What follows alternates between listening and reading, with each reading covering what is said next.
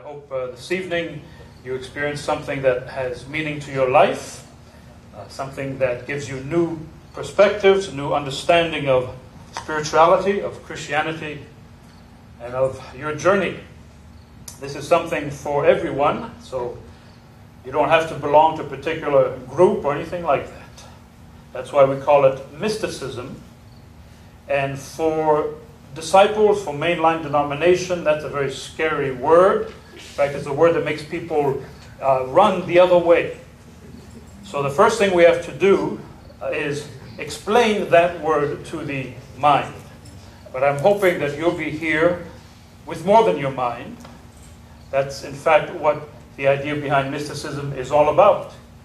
That it's mind, emotion, spirit, body, which is why if you're smelling something strange, you're supposed to be. Nothing's on fire.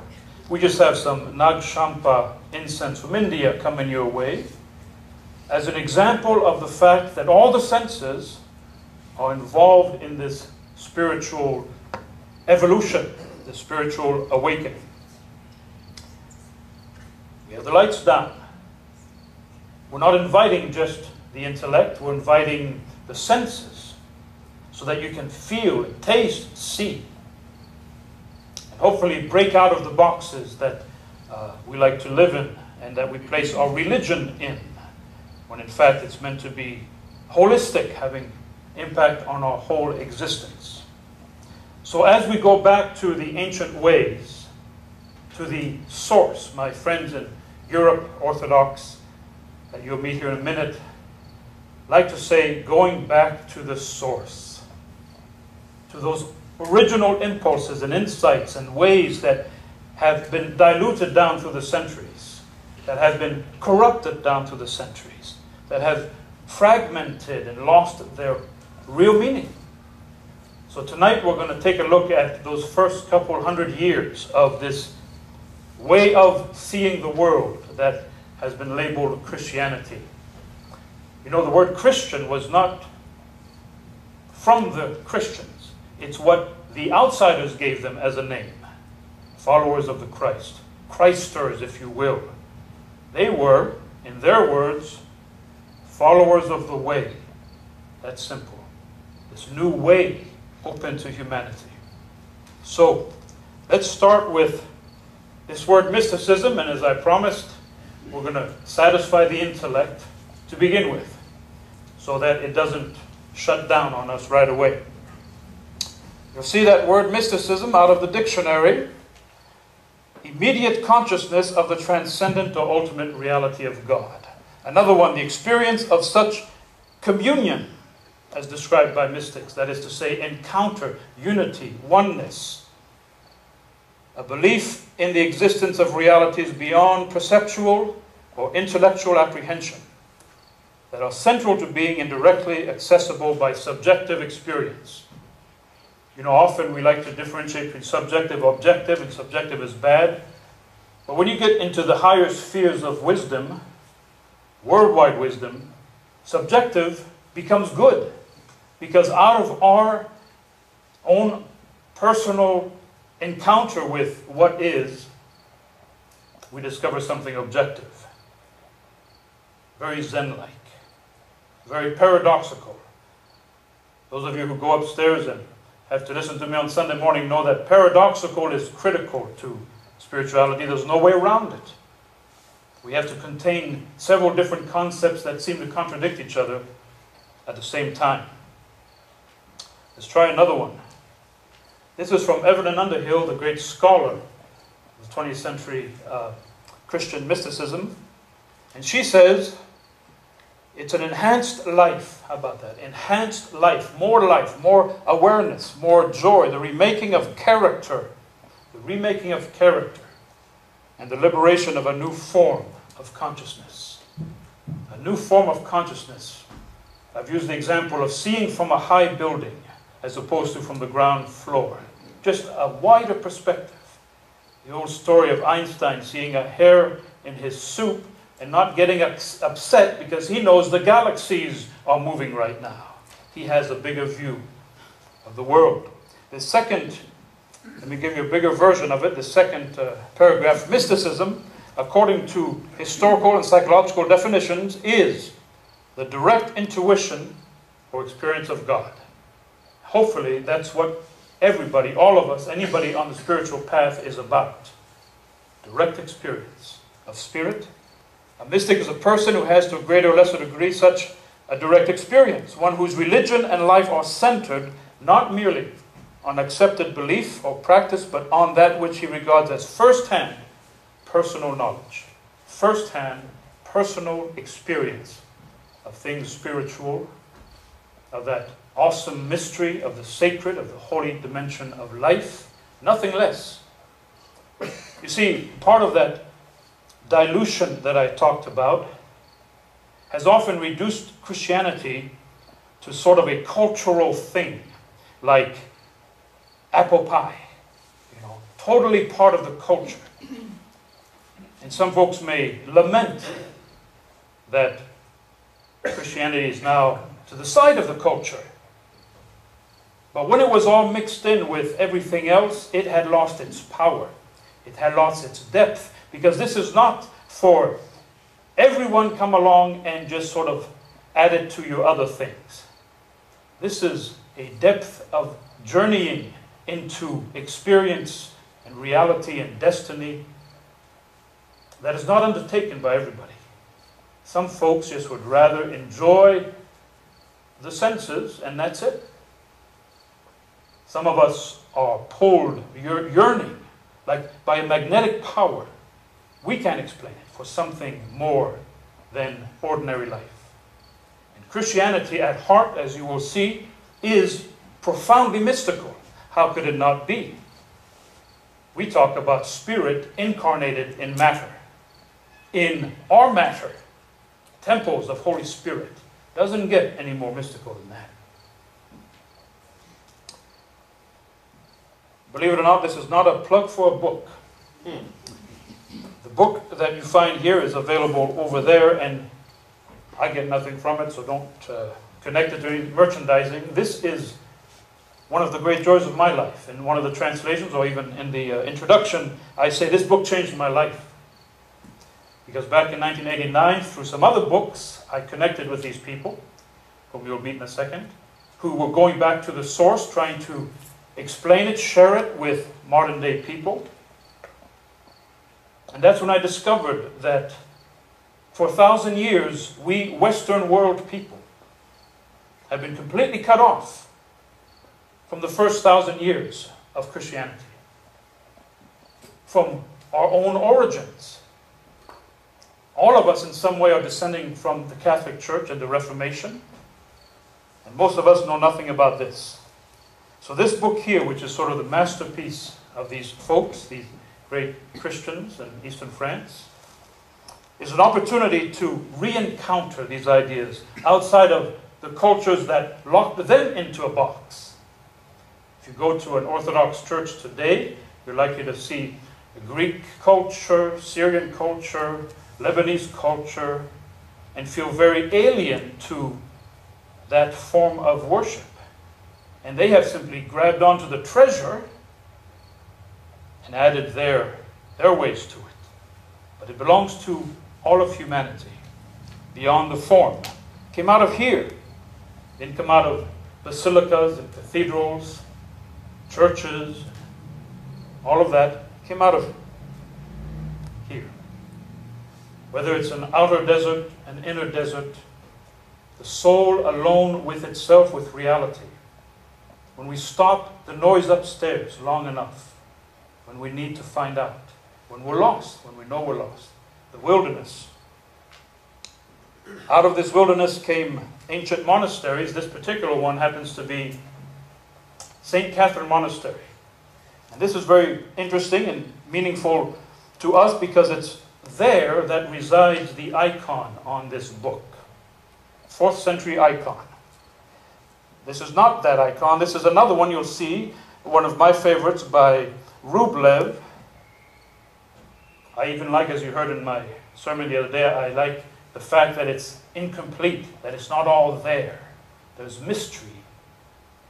One of the boxes we've really made a mistake of putting together is making Jesus a completely like us kind of guy with the blue eyes and all that sort of silliness, when in fact it's a person of power and mystery that we can barely understand. This is another picture. Now, I'm throwing this in as an aside. You all know what this is. This is the Shroud of Turin. I just want to make this little tiny point. That the Shroud of Turin and one of the very first, if not the first icon of Christ, have an awful lot of similarities.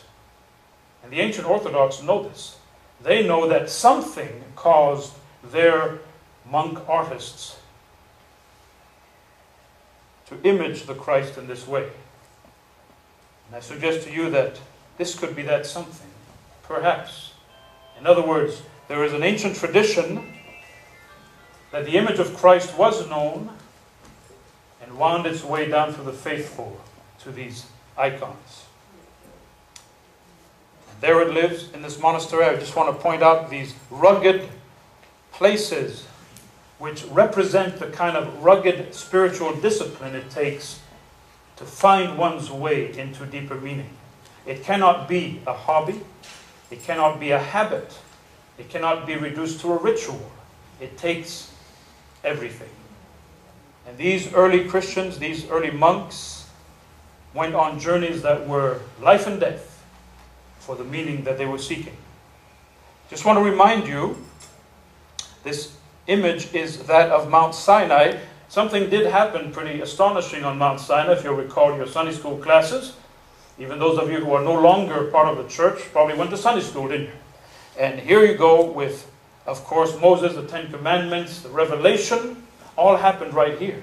So out of those rugged desert cliffs is this history, this experience that sort of brings a sacred dimension to a place that one might not notice otherwise. I want to introduce you to St. Anthony, the very first monk in the Egyptian desert. He went out all by himself. He left Constantinople, he left the artificial world of his culture, the artificial church of his culture, in search of something else that his heart yearned for. And after 20 years or so, all by himself, he realized in his aloneness, however satisfied he was, that he now had to turn around and help others. And so he created the very first Cenobitic communities, the very first monastic gatherings, those places that eventually became, guess what, boxed, controlled, formatted, Xeroxed into ritualistic religion. I want to introduce you to another early desert father, Ephraim the Syrian. I'm sure that very few people here have heard of Ephraim. He was one of the great theologians of early Christianity, of early Orthodoxy, of Eastern Orthodoxy, and he was a poet. So think about this. Their theologian in the early church was a poet. He wrote poetry and hymns. The theologians of the Western world, like Thomas Aquinas, wrote books this big. See the difference? These folks worked at a different level than our later scholars. And by the way, if you don't happen to know this, Thomas Aquinas himself at the end of his life said, It's all straw. All of that mighty, monumental intellectual work was all straw. In his new understanding at the end of his life. Just to give you a little tiny taste of these folks, words from Ephraim from one of his hymns Lord, shed upon our darkened souls the brilliant light of your wisdom, so that we may be enlightened and serve you with renewed purity. Sunrise marks the hour for men to begin their toil, but in our souls, Lord, prepare dwelling for the day that will never end. That's mystical experience, transformation. Another great early teacher is Isaac of Nineveh, Isaac the Syrian.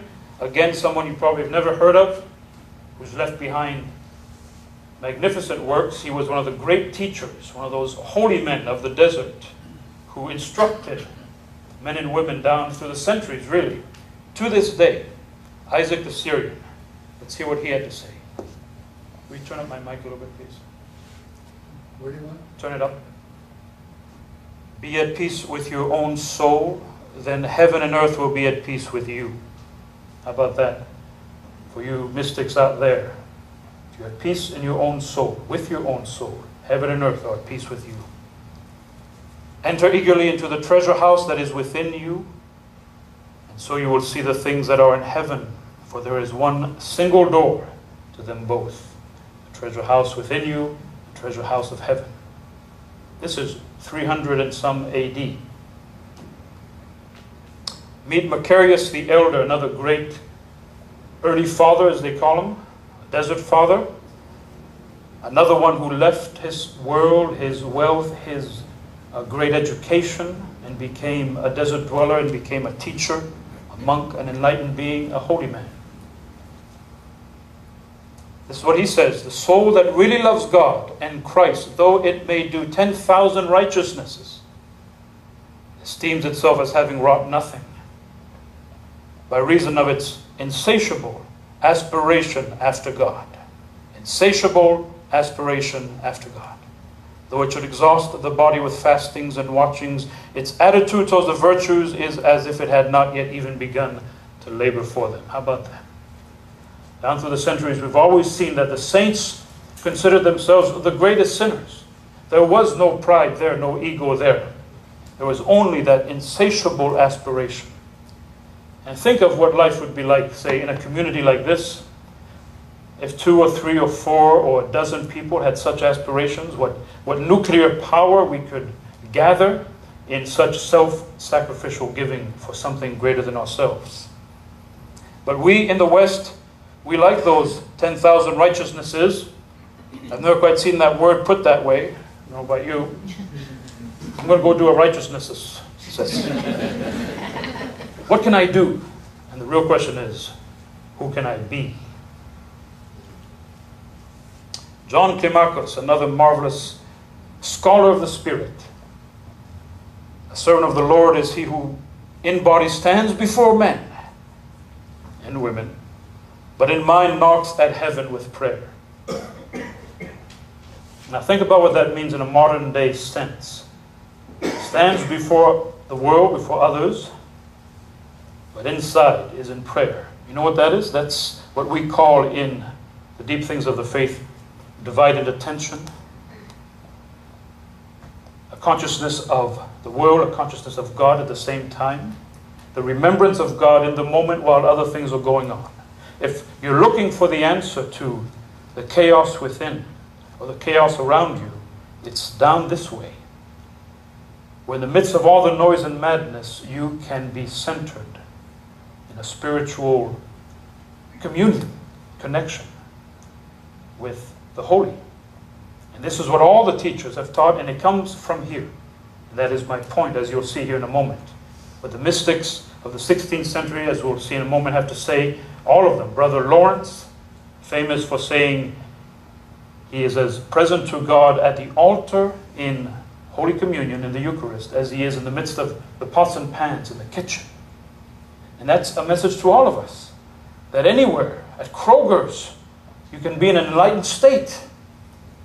And maybe you'll be present enough to God that your goodness will shine forth and bless somebody right then and there while everybody's in a hurry.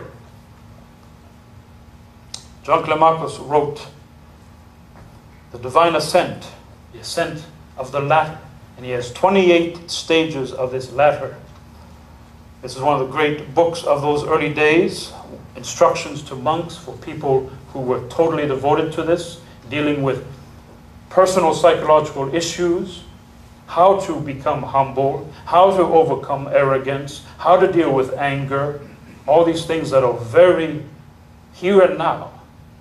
A psychotherapy these desert dwellers came up with. A systemic psychotherapy for the soul, which is alive and well to this day.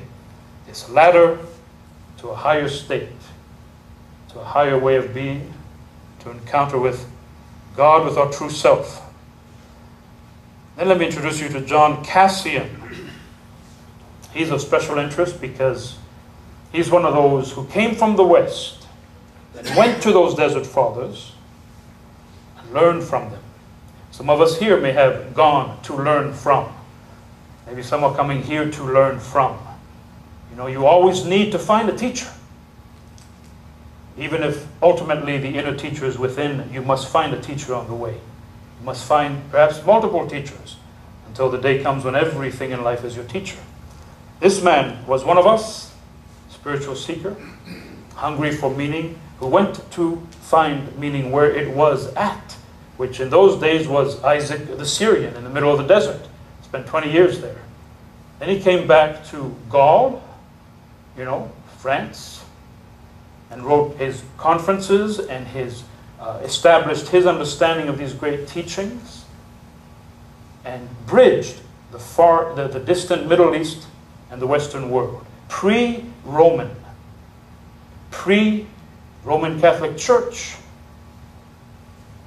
an original expression of the source in the West, right here. In other words, our ancestors spiritually. Someone has put together a graph that may or may not be of interest here for you of all these different elements of uh, spiritual studies in humanity in the ancient times.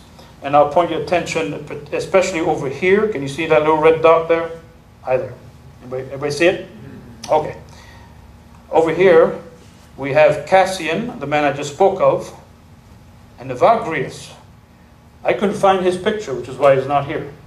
There's not even a drawing of this mystery man. Let me just say something about Evagrius. He's the one who brought together the genius of understanding what was called back then the eight passions. By passions, he really meant pathologies of humanity.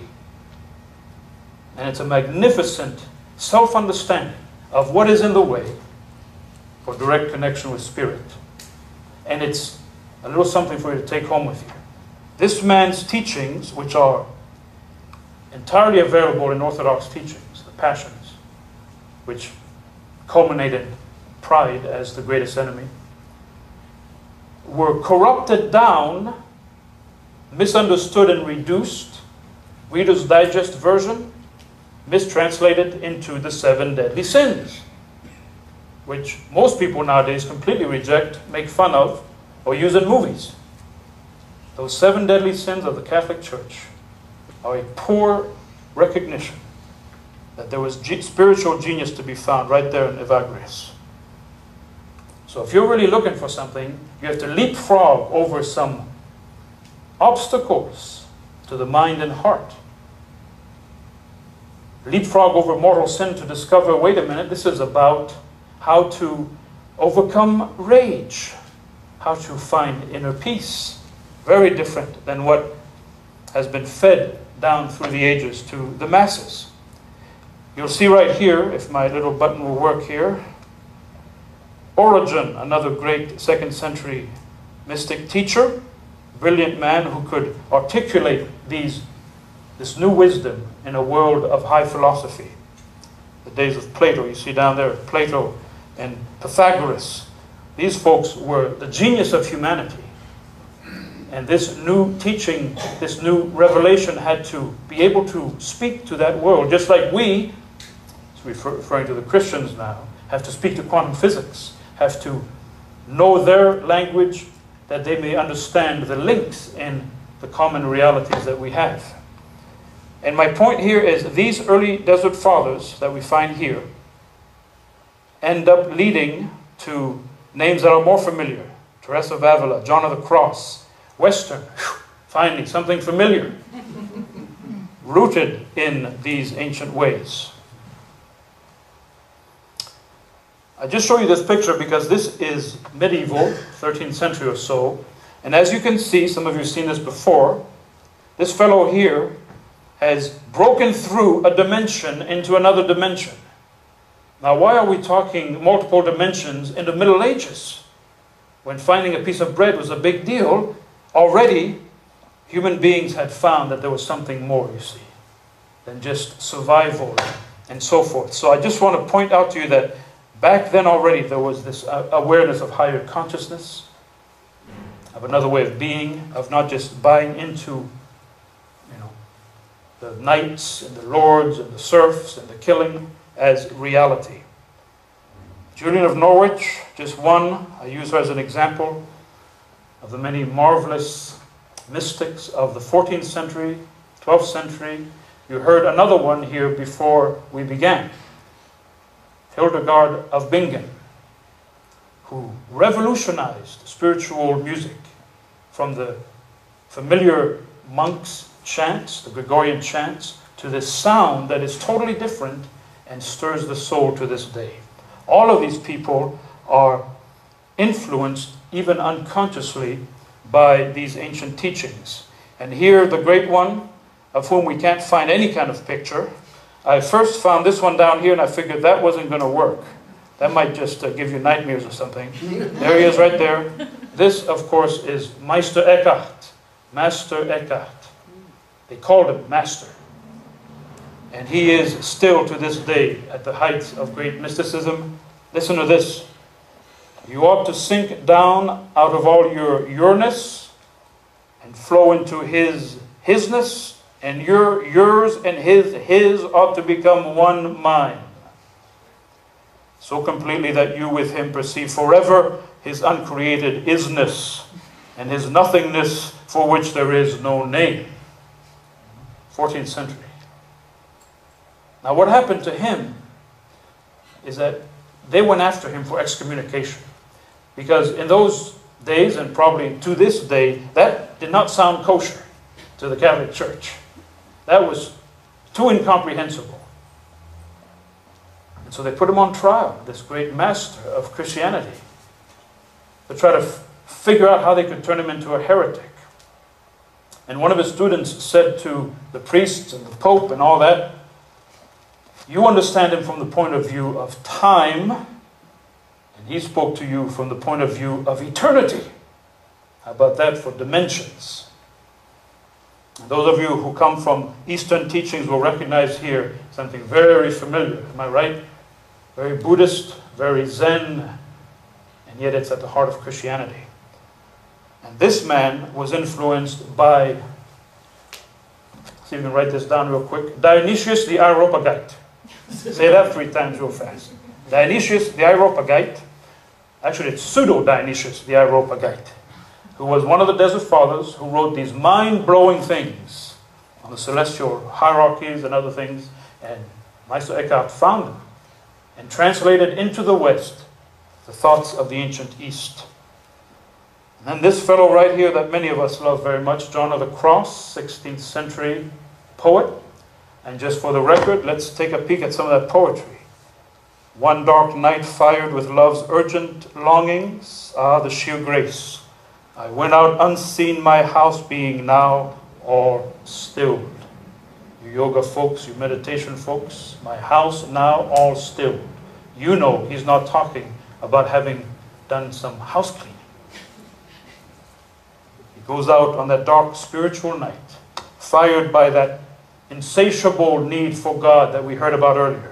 And then in the eighth verse, he says, I abandoned and forgot myself, laying my face on my beloved, all things ceased. I went out from myself, leaving my cares forgotten among the lilies. This poet, master poet, is trying to put into words a quality of consciousness, third heaven, as Paul called it. Different cultures have different names for it. What it is, is a self transcendent experience that maybe you've had in a split moment that has disappeared, and yet you knew then that you were touching something extraordinary.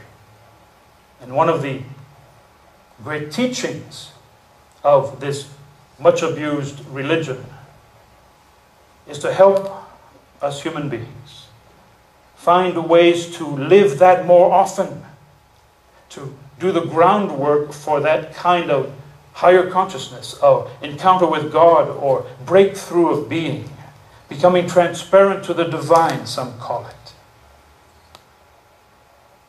Purity of heart, others call it. That heals all our pain, all our psychic pain takes away our loneliness, takes away our rage, takes away our hurt, and heals us. This is what salvation is. It is healing of the soul. And there it is. And yet, this fellow here was hated by his fellow monks. They kidnapped him, they tortured him, and after he was dead, they cut him into pieces. Fellow Christian monks. Why? Because human beings are so much alike. Whatever form they take, this could be a Buddhist camp, whatever. It could be that Orthodox thing with the big crosses. This morning I thought of telling you in the sermon a, a CNN news report of Egyptian monks and Ethiopian monks who have the privilege of guarding the Holy Sepulchre, where it is said that Christ was buried and resurrected. And each has a corner. And one day in July, an Egyptian tourist moved his chair out of the sun into the shadows and crossed an invisible line. And it generated a riot between the Egyptian monks and the Ethiopian monks. They threw rocks and iron rods at each other. Seven wounded Ethiopian monks, four wounded Egyptian monks. These guys who fast, who pray at three in the morning, who wear these big crosses. Boy, did they miss something, don't you think? They missed all this. The heart of the matter. I show you a classic Orthodox sanctuary. Don't worry, folks of Northwood, I'm, I'm not going for that look. Just in small, small increments. They want to create a beautiful place, a holy place. And if you go into St. George's Antiochian Syrian church uh, out there, right down the street, those of you who have, you've told me this. You're not in Indianapolis anymore. You walk into another world, don't you? With incense, frankincense, with candles, with stillness, with reverence, with the sacred. And friends, we Protestants have bungled this so badly that it's time to go back to the source. It's time to realize that we have to feed the senses, feed the eyes, feed the nose, feed the ears with that which lifts us into a different place. The Puritans went way too far, just like we all do, don't we? We all get lunatic about something. And so from Luther on, they stripped all the statues, they tore out all the beautiful stuff, sort of like the French Revolution. Those of you who don't know me, who are wondering what, what kind of southern accent am I talking with, not a Hoosier, grew up in France. And I grew up thinking the French Revolution was a wonderful thing. You know, fraternity, equality, all that good stuff. And then I find out about the reign of terror when 900 people a week were being having their heads chopped off. Rivers of blood. They even chopped off the heads of their puppies. Aristocrats, you see. We all go too far. That balance thing, that middle road is profound, mature wisdom that most of us miss out on. So one could say, well, that might be too far too. However, what it is, is a recognition that we must have places in our lives where the holy is center stage, where all the rest of it, all the mundane is aside, and we are an environment that truly feeds the spirit. And I want to show you that these ancient teachers you've heard of, these people from long ago, their teachings still exist. Here you have a current monk from uh, St. Catherine today, Okay, so I'll agree. They wear funny hats. And they like their, you know, I'd have one of these, but my wife won't let me.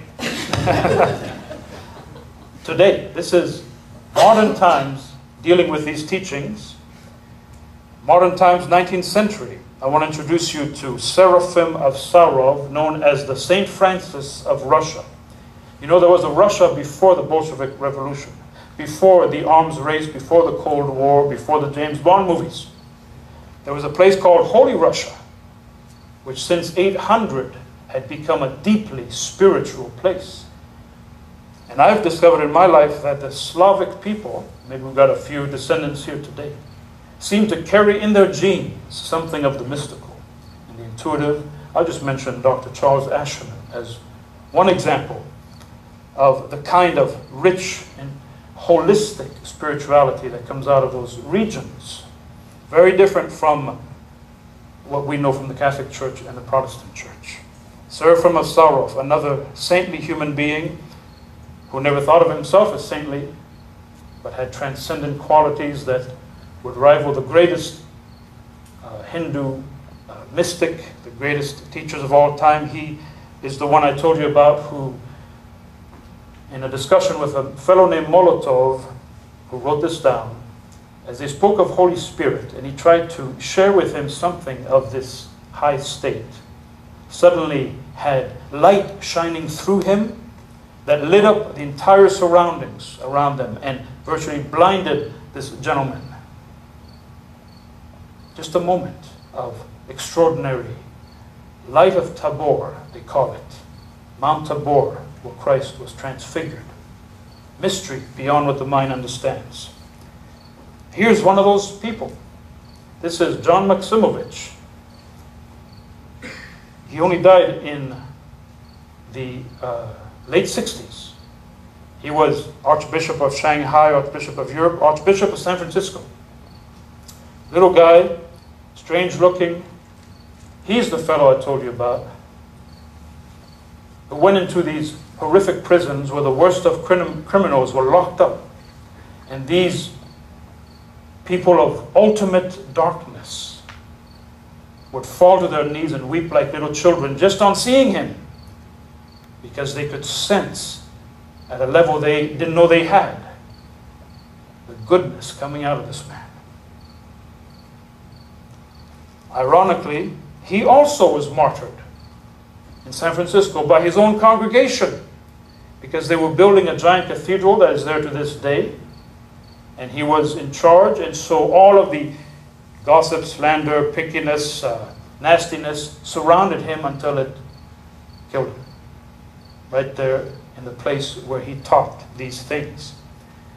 This fellow here died at age 48, uh, I believe in the early 80s. He's known as Seraphim Rose, and he was a PhD at Berkeley studying Chinese when he discovered the teachings of the Desert Fathers and Mothers. And as you can see, he sort of changed directions. He has written some extraordinary works, which, after the wall fell, after the collapse of communism and things opened up, it was discovered that throughout Russia, they were reading Xerox manuscripts of this man's works. So it had come full circle, you see, from out of Northern California, near Redding, in that area. This man and his group called uh, the Brotherhood of St. Herman of Alaska, who to this day publish books of these teachings, uh, had been able to reach Russia that had lost its connection with its own spiritual legacy. One could argue that he too went perhaps too far. You don't have to have that beard. You don't have to live in utter poverty. And I'll share with you that some desert fathers did not bathe, and he turned it into a teaching. So uh, he didn't bathe. Uh, I don't recommend it. Uh, you know, it's just that human thing. Everybody gets carried away, right? Some of us eat too much chocolate, others don't bathe. What can I say? Now, these are my friends who wrote that book, which is on that table over there. And my point that all of this is real close to home. This is Alphonse and Rachel Goettmann. He is an Orthodox priest.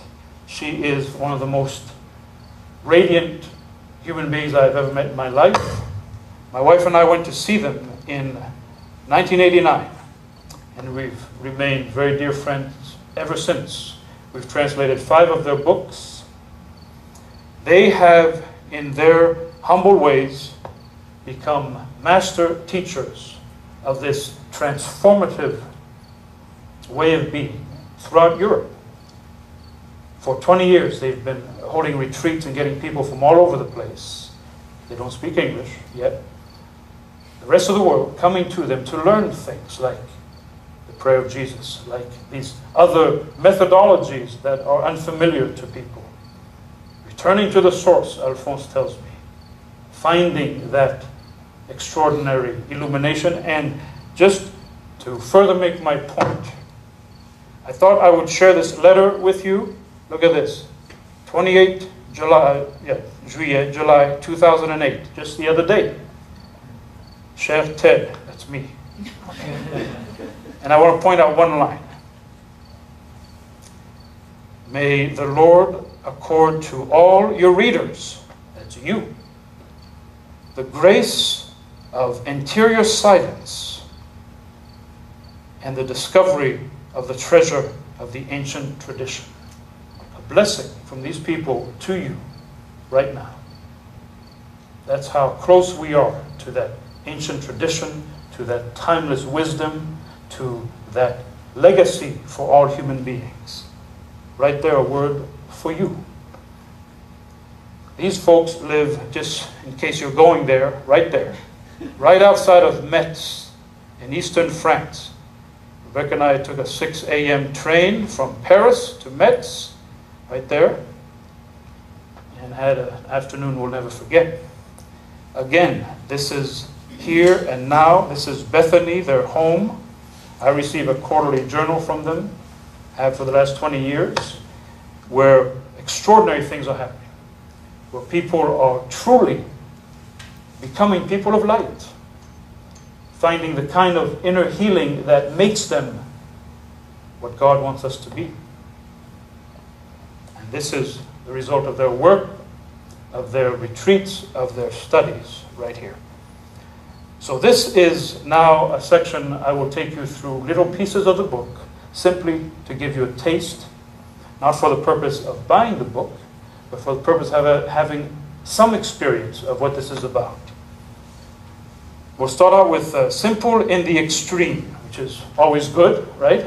Simple in the extreme, available to the poorest individual, that is, everybody, as well as to the greatest contemplatives. This prayer, the Jesus prayer, leads to the penetration of deepest mysteries. And you'll see it tells us, makes us pilgrims on a journey towards our promised land, which is our own heart. No matter what we're doing, see, in fields or factories, cleaning a house, supermarket, etc., this teaching helps us to be present to God wherever we are, whoever we are. And this is classic teaching from the desert mothers and fathers constant interior prayer which is a state of consciousness, conscious awareness of God. Not words, consciousness. Maintained in this consciousness never ceases to deepen and transmute itself. It's a living thing. This awareness of a bottomless present leads to the disappearance of thoughts. If you're ever wondering, how do I stop the radio in my head? How do I stop the imagination in my head? Here's an answer disappearance of thoughts, especially our multiple desires, the great symbol of the ego, and like oil, the holy name fills us with its presence. They are giving us not merely a tool, but a pathway to another dimension. They tell us that first the prayer is pronounced with our lips, always putting our heart and mind into it. There's an ancient saying, bring the mind into the heart. And we'll talk about that at some other time lovingly focusing our attention on God, each word of the prayer absorbing our whole consciousness. At other times, it can be said between long intervals, and I want to point this out to you, which we simply taste this atmosphere of the presence. So you see, this is not a prayer of petition, I need this, help me with that. It's not a prayer of intercession for the moment. For others, it is a entering into the presence and they give us this wonderful poetic example, much like a bird beating its wings once and letting itself glide. I'm sure you meditators know what that means. In, a, in an act of abandon, abandonment, surrender, thy will be done. Just as that bird discovers there's no void beneath it, so we through the prayer discover the presence which precedes and accompanies us. Just a little taste. At the beginning of the spiritual life, there is first a separation which strips us from all that is useless. It is necessary to turn off the TV. It is necessary to shut down the overwhelming noise of life on our senses that keeps us hypnotized or in a state of agitation. Like we all have ADHD, as I've said before. We have to find a place. Check out the chapel garden. The separation is a physical necessity. We enter solitude, which alters everything. Once this physical space is open, it becomes an interior reality. It creates a state of the soul. You see, if we don't even know what it feels like, what it tastes like to be in an interior peace, we don't know what we're going after. We don't know what we're aiming for. We reject it often because we don't understand it. But we have to get there just to begin the spiritual journey. Before beginning this prayer, this process that you'll see in a moment, the Father has considered one other important thing warming the heart. How about that? Warming the heart. The dissipated intellect does not enter into itself, does not unify itself to the heart unless attention is drawn into through warming the heart. And, he, and they suggest that if you cannot warm the heart, that is to say, listening to beautiful music, looking at a beautiful painting, smelling the cut grass in the air, whatever it takes for you, will need the help of a way which has proven itself in our past, where we are touched and sees and shaken us, whatever it is. You see, this is where spiritual discipline begins. We waste our attention, the power of our attention, the moments of our life. We don't realize what we could be gaining from just being alive right now. By discernment, by knowing what will feed the soul right now. We could all be watching, watching an Arnold Schwarzenegger movie which generally won't feed the soul. It'll tear up the nervous system, it'll stir up bloodlust, make us want to hit somebody, but it won't feed the spirit. We have to make these choices. Among the great ways of warming our heart is this experience of those privileged moments. That's the best way we could translate it. And these are moments that you've had. We're filled with a burst of light, warmth, happiness, You can always remember the hour, the moment, the place. And you think of one when something happened. They call them starry hours found throughout our life from earliest infancy. I remember as a little boy in a little French village, I used to like to sit on a rock and just sit there. I didn't know why, but it, it did something to the spirit. And maybe you, in a moment on the beach, on a mountain, wherever, something Somewhere you have tasted these special moments. And to remember that and to not take it for granted, to not forget about it, is part of the development of warming the heart, of awakening. In the mental phase, there are multiple phases, as you can imagine. Uh, in the intellect, the words are articulated consciously, resonate to our interior ears, can be visualized. This is all one level. Those of you who know Ignatius of Loyola, used imagination, picturing things as part of the effort. Visualization, I know, is used in yoga and other places, but it's one stage, it's a beginning stage. And this is very important an attitude of watchfulness. And they tell us this is a complete stranger to the ego, the ego, the illusion of self, which disappears before it. In other words, you can't be full of self and self interest while looking at something beautiful. The ego is always active on the surface, while watchfulness is a non action. There we east meets west. Encounter in depth in the silence of being from which we receive everything and which leads us at every step. We then live in an atmosphere in absolute freedom from result. How about that, you Westerners? Freedom from result. All of us are result oriented to an obsessive compulsive degree and to be liberated from the need for results so that we could just live the journey is a spiritual experience. To free oneself from all thoughts and worries requires continual inner battle. It doesn't happen on its own. It isn't something easy. It is a demanding, the most demanding thing of all, invisible warfare, spiritual warfare. And here's a word that nobody's heard of here, I'm sure, maybe one or two nepsis, a Greek word, which is watchfulness, awareness, watch of the heart, state of restraint, of extreme vigilance and attention. They tell us all these terms are quasi synonymous among the fathers. Only the restraint of thoughts and worries makes possible union with God. You can't be full of worry and unite with God. You can't be full of fear and have faith. You see, we're going in different directions. For it releases us from our troubles and our passion and gives us, with the help of grace, a pure heart. Blessed are the pure in heart, for they shall see God. Now, this is a magnificent example of the psychology of the ancient teachings, entirely contemporary.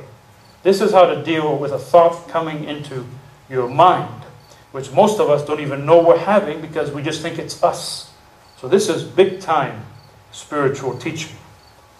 It, the thought, begins innocently with a simple suggestion, some word or picture. Just something comes into our mind. If the soul dialogues with it, that is, if we get stirred up with it, if we reflect on it, if we spend time with it, then comes the ascent. When the object, object lodges for a long time in the soul and it gets used to it. Think of an example for yourself. Let's say, I don't know, jealousy. Something that's toxic. Jealous thought comes in, you start spending time with it, you start thinking about it. In the shower, at night, next day. You know that experience? And finally comes captivity. So, from one simple suggestion, one simple thought in the mind, it goes into the heart, and we become captives of it. Heart is dragged along involuntarily. St. Basil says that we must watch over ourselves and always have our attention in an awakened state. And our mistake is we assume that everything that comes through our mind or our emotions is ourselves. Whatever is happening is center stage. We have no consciousness of good and evil in what happens in our minds and in our hearts. So anything goes, you see, and we're driven around every which way. Powerful teaching. Here's something for those of you who are seeking the holistic way. A relaxed body is critical to interior attention. Letting go of our body, surrendering ourselves. The most important thing is not to look too much at oneself or one's problems, but to believe in this love and this consciousness. This is the mechanical phase of the prayer. They're going to come in to some more of this relaxation as a necessary thing. This is one paragraph that is very precious to me. Let's share together, see what it does for you. In the beginning, we perceive it as a small vibration of silence in the background of our being. We discover eventually that it is always there as a depth behind our consciousness, and that we can rest in it at will, even in the midst of the daily whirlwind. But progressively it becomes more and more clear like an immense silent ocean which vibrates in our depths, a real presence with which the Jesus prayer links up, dialogues with pools living waters as from a well. Immense silent ocean in the depths of your being. Something within that breaks through any barriers that we think are the containment of our identity, linking us with Spirit. I'm not going to go over all this. I just want to point out a few things very quickly. Continual Metamorphosis. It's a French book, so there's lots of fancy words. Uh, breathing is a path of transparency to mystery. So the ancient teachers figured out that simple breathing, as so many Eastern teachers know, is a pathway to a deeper connection to spirit, a disconnection of the ego and all its tensions. We may experience at the end of exhalation, as we breathe out intentionally, a mysterious moment of deep silence, just in simple breathing. This brief instant expands as we surrender ourselves to it. It progressively reveals itself as a presence, as someone. This perhaps is the difference between Christian revelation and Buddhism and other things. It's one thing to have a sense of the great higher mind, of vaster transcendence. It's another thing when that greatness, that higher something, becomes someone, a personal connection to personal beings. Each inhalation receives the divine breath as you in your consciousness of the reality of God, as you breathe in, you are breathing in the life force that God has given you. Arising toward the light which enlightens our consciousness through this mystery, each expiration is a descent towards the depths. We release it all to receive this unknown being who nevertheless resembles us in that we are intertwined. As we come to rest, and I've got the word Hesychia there, this is one of the great words of that tradition. Hesychia meaning inner tranquility, inner silence. Exhalation slows and becomes deeper. So here is the mechanical methodology for those who would use this particular prayer. Lord Jesus Christ, breathing in, Son of God, during the silence at the end of the inhalation, have mercy on me, a sinner, breathing out. Lord Jesus Christ, Son of God, have mercy on me, a sinner. Now, before anyone gets too concerned about dogma, let me make this point. What we have here is consciousness of self as sinner, as one who has gone off track. Amartano, sin means missing the mark. And consciousness of holiness, consciousness of self, consciousness of God. It's that dual awareness that begins to create transformation it proves too difficult for those of us who are too uptight, you can say, Lord Jesus Christ, breathing in, Son of God, breathing out. Have pity, breathing in on a sinner, breathing out. As they say, some very tense people can't, can't even breathe in one word. And you know, we've got lots of uptight people among us. So sometimes all you can say is one word. Whatever that word is, that which invokes the holy for you. I'm just giving you a tease here. If you're interested in the paragraph that you're missing, it's in that book over there. Every true prayer said in humility, leading to the death of self and surrender into the hands of God, ends in inflaming the heart. How about that? Death of ego, not of actual self, leads to inflaming the heart, that warming of the heart. And I'll bet that everybody here knows something of that. That moment when you did something, where you pushed the envelope in being good to another, in really transcending what you wanted, and knowing you did something beautiful for God, that inflames the heart. That changes us as human beings. That which begins only as an exercise quickly leads towards coming into presence. So it goes from words to experience, you see. Many of us still think of prayer as just words, ceaseless prayer. Can you imagine Paul saying, pray always, and having us mumbling all the time? It's a state of awareness that they are discussing. Now, this, this is a little different, but I'll just share it with you for the sake of contemporary thinking. A sensation received in a pure state operates an immediate disconnection of the nervous system, places the soul and body in silence. Human beings cannot feel and think at the same time, and this is a great secret. In other words, to open yourself to something deeper, you have to intentionally focus on that sensation in a way that sort of dislodges you from your normal way of life. So we're concluding now if the gospel is good news, such a cry of joy from beginning to end, it's because in revealing human beings to themselves, it offers us at the same time the possibility of experiencing God within ourselves here and now. This is theosis, divinization, God realization, the heart of early Christianity, totally forgotten after 1054, and just now appearing on our shores in our awareness only in the last 40, 50 years have these kinds of books appeared in English. And it's our opportunity to put aside our prejudices or our assumptions of religion and rediscover the heart of it. Thank you very much for your attention. And I open the floor to questions if you want to turn the lights on, please.